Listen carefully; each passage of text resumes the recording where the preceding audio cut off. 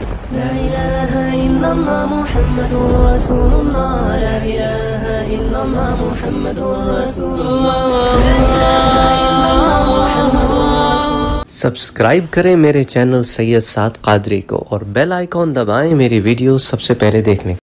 کتاب حلیت الاولیاء میں امام ابو نعیم وہاب ابن منبع سے روایت کرتے ہیں کہ بنی اسرائیل کا ایک شخص جس نے سو سال تک اللہ کی نافرمانی کی اور گناہ کرتا رہا، اس کے بعد جب وہ مر گیا تو لوگوں نے اس کی لاش کو اٹھا کر اس سے نفرت کی وجہ سے کوڑے کوڑے کے ڈھیر پر ڈال دیا۔ اللہ تعالیٰ نے حضرت موسیٰ علیہ السلام پر وہی نازل فرمائی کہ اس شخص کو وہاں سے نکالو اور اس کی نماز پڑھو۔ حضرت موسیٰ علیہ السلام نے عرض کیا، اے پروردگار، بنی اسرائیل نے اس شخص کو دیکھا ہے کہ اس نے سو برس تک تیری نافرمانی کی، مگر اس کے بعد پھر اللہ تعالیٰ کی طرف سے وہی نازل ہوئی کہ ہاں وہ ایسا ہی تھا، مگر اس کی ایک عادت تھی کہ وہ جب بھی اللہ کی کتاب تورات کو کھولتا اور اس میں محمد صلی اللہ علیہ وآلہ وسلم کے نام پر اس کی نظر پڑتی تو وہ اس کو چومتا تھا اور آنکھوں سے لگایا کرتا تھا۔ میں اس کو اس کی اس ادا کو قبول کر لیا اور اس کے گناہ معاف کر کے ستر حوروں کے ساتھ اس کو بیا دیا۔